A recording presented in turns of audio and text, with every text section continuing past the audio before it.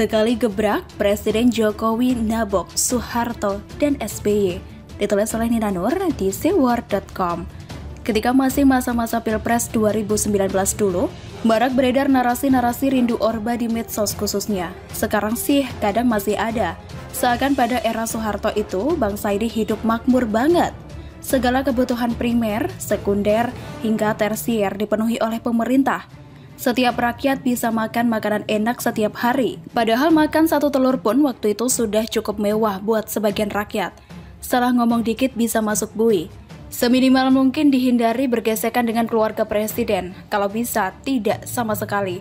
Jauh sekali bedanya dengan zaman sekarang, ketika orang atau kadrun merasa bebas mengkritik presiden dan keluarganya.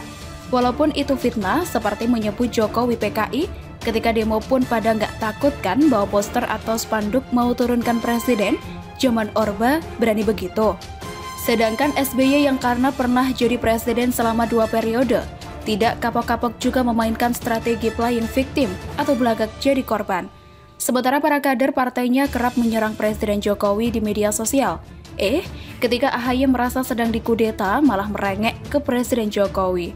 Semuanya belagak lupa kalau era SBY itu terkenal dengan proyek epik Hambalang yang dikorupsi dan mangkrak. Padahal katanya, katakan tidak pada korupsi. Oh iya, masih ada beberapa kasus korupsi lain, EKTP, Asabri, Jiwasraya, sama Bank Senturi kan? Hanya orang-orang bodoh yang masih memuja-muja Orba dan era SBY, tapi memaki era Jokowi. Cukup tanya satu saja sebenarnya sudah cukup, yakni harga bensin di pelosok Kalimantan dan Papua. Ya susah kalau di dalam hatinya sudah tertanam kebencian.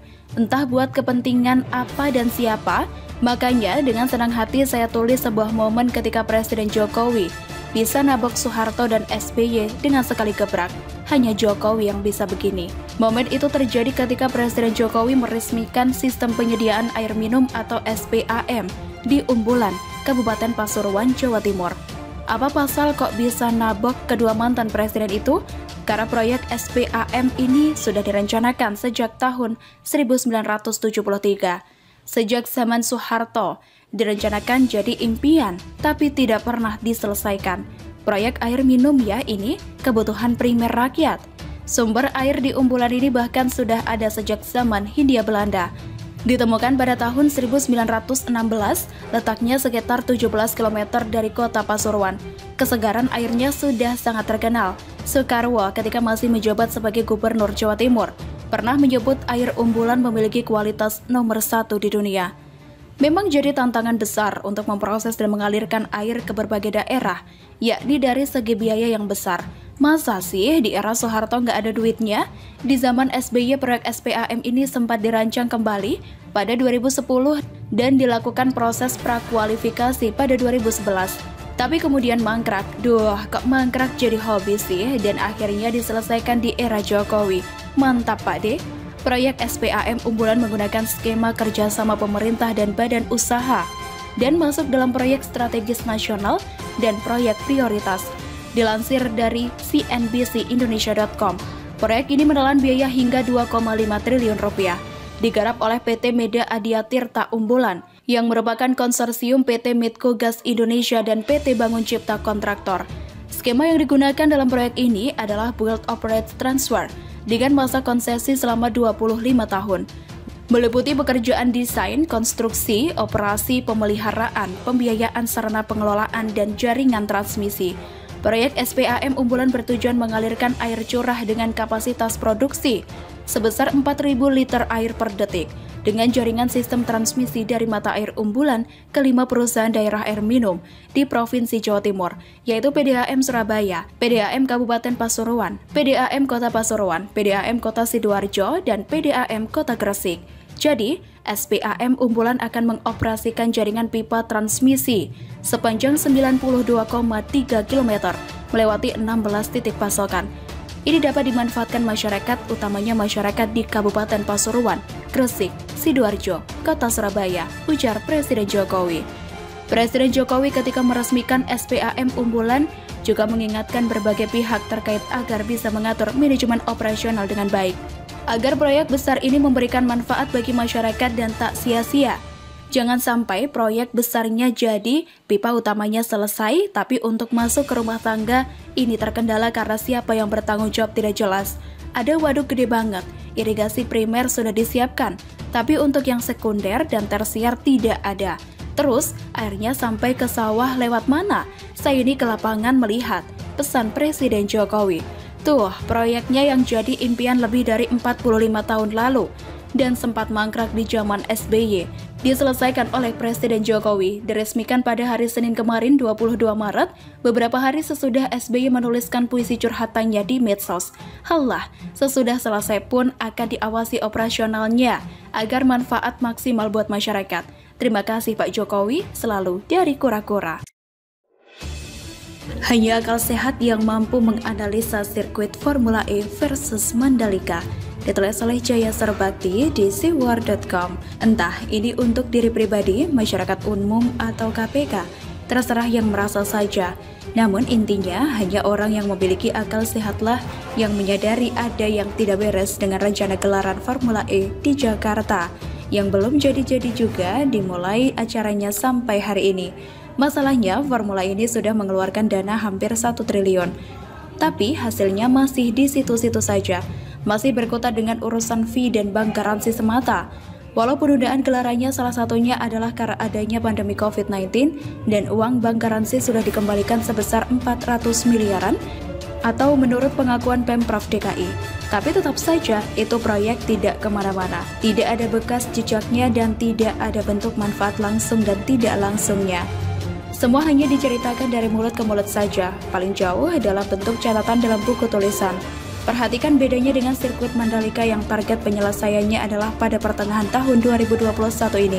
Dengan anggaran yang disiapkan sebesar 1,7 triliun, begitu banyak yang sudah dibangun oleh Kemen PUPR. Selain pembangunan sirkuit sendiri, infrastruktur sumber daya air, jalan dan jembatan pemukiman dan perumahan juga ikut dibangun. Begitu juga saat ini PUPR tengah membangun jalan bypass Bandara Internasional Lombok atau BIL Mandalika sekarang sudah terkontrak pekerjaannya dan sedang berjalan konstruksinya. Jalan ini akan selesai sebelum ajang MotoGP di Indonesia dimulai pada tahun 2021. Jelas Basuki, Menteri PUPR. Dibangunnya Jalan Pipas Bil Mandalika akan meningkatkan konektivitas dari Bandara Bil ke kawasan wisata Mandalika guna mendukung akses menuju sirkuit MotoGP yang juga dibangun di kawasan yang sama. Jalan Pipas Bil dibangun dengan lebar 50 meter, 4 lajur yang dilengkapi trotoar, dan median jalan dengan anggaran 641,96 miliar rupiah pada tahun 2020 hingga 2021. Jadi bukan hanya perbaikan jalan, Kementerian PUPR juga meningkatkan kualitas hunian masyarakat di sekitar sirkuit Mandalika. Sementara untuk program BSPS atau Bantuan Stimulan Perumahan Swadaya reguler dialokasikan untuk 2.900 unit dengan nilai 50,75 miliar rupiah. Khusus untuk pembangunan di koridor, maksimal bantuan per rumah adalah 35 juta rupiah. Sedangkan untuk rumah singgah atau lokasi usaha pendukung wisata lainnya, maksimal sebesar 115 juta rupiah, tutur Basuki. Melalui program ini, rumah-rumah yang kondisinya tidak layak huni mendapatkan bantuan bedah rumah yang akan juga ditambah ruangan khusus untuk tempat menginap para wisatawan. Selain itu, masyarakat didorong memfungsikan tempat tinggalnya sebagai workshop, toko, kuliner, serta usaha atau jasa lainnya. Tidak berhenti di situ, Basuki juga melakukan pembangunan pengendali banjir KEK Mandalika sepanjang 5 km, perataan kawasan tiga gili yakni Gili Air, Beno, dan Trawangan di Kabupaten Lombok Utara, peningkatan kapasitas tempat pengelolaan akhir atau TPA, pengengat, dengan volume 250.000 kepala keluarga, pembangunan sistem penyediaan air minum, gili air untuk 1000 sambungan rumah. Dengan anggaran 1,7 triliun, Basuki melakukan banyak sekali dan negara mendapatkan banyak sekali. Paling utama, satu sirkuit bergengsi taraf internasional yang bisa mengakomodasi pagelaran motor GP. Begitu juga dengan pembangunan infrastruktur jalan, pemukiman dan sarana pariwisata yang kelak semua akan mendatangkan uang masuk bagi negara. Sekarang, bandingkan kembali dengan Formula E dalam buku satu laporan hasil pemeriksaan atas laporan keuangan Pemprov DKI Jakarta tahun 2019 dari Badan Pemeriksa Keuangan Perwakilan Pemprov DKI Jakarta. Pemprov DKI berencana menggelontorkan pembiayaan Formula E mencapai 1,2 triliun rupiah tahun 2020 dengan nilai anggaran 344,4 miliar rupiah 2021 nilai anggaran 218 miliar rupiah, 2022 nilai anggaran sebesar 221 miliar rupiah, 2023 nilai anggaran 226 miliar rupiah, dan 2024 di angka 230 miliar rupiah. Uang dengan angka 1,2 triliun itu direncanakan untuk membiayai 5 seri ajang balap mobil listrik tersebut di Jakarta. Dengan catatan semua keluar sebagai biaya fee dan persiapan balapannya saja, tidak akan ada aset yang bertambah buat kota Jakarta. Begitu juga dengan peluang pendapatan setelahnya. Semua akan berakhir begitu gelaran berakhir. Jadi, memang pada dasarnya proyek ini tidak ada nilai ekonominya sama sekali, hanya pengakuan saja. Ngomong-ngomong berakhir, kejauhan kali ya, mulai saja belum. Bentukannya saja belum kelihatan, hanya uangnya saja yang sudah banyak dikeluarkan.